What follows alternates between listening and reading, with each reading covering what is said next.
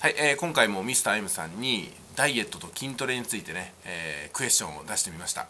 まあ、今回はおすすめの有酸素運動ということで、えー、まあ聞いてみたんですけども、まあ、筋トレをする上でですね有酸素運動を効果的に取り込むことっていうのはかなりね、えー、有効になってくるんですけども、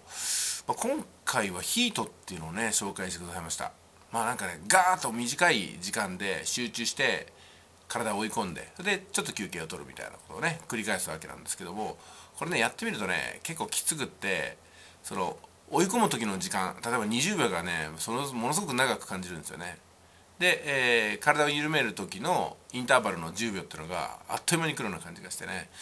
えー、まあその時間の伸び縮みの感覚がね結構癖になったりするわけなんですけども、えーまあ、本当にね今回もご質問に答えていただきましてありがとうございました。えー、次回からもねまたいろいろと聞いてみたいと思います。それから視聴者さんもねミスタイムさんにご質問ありましたら、えー、動画の概要欄とかねコメントの方で、えー、お尋ねになるといいんじゃないでしょうか、えそれではおすすめの有酸素運動ヒートについて紹介いただいた動画がこの概要欄にございますんで、えよろしかったらどうぞ。